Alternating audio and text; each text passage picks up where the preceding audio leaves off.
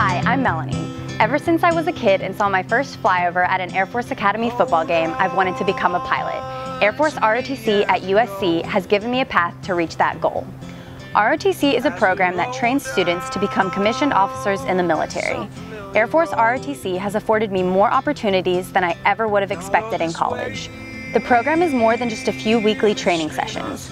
We participate in camping trips, whitewater rafting, boot camp, shooting ranges, beach trips, and more. What makes ROTC unique is that each of these activities challenges us to grow as leaders and develop a character of integrity, service before self, and excellence in all we do. Because ROTC is a student-run organization, every member of the detachment plays an important role and gets a chance to be in charge. This year I have three jobs, Flight Commander, Drill Team Commander, and Financial Management Officer.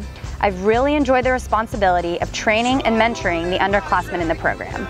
Hopefully one day I'll be Wing Commander, which is the cadet in charge of running training for the whole detachment. I've learned so much by challenging myself through the program and made many friends along the way.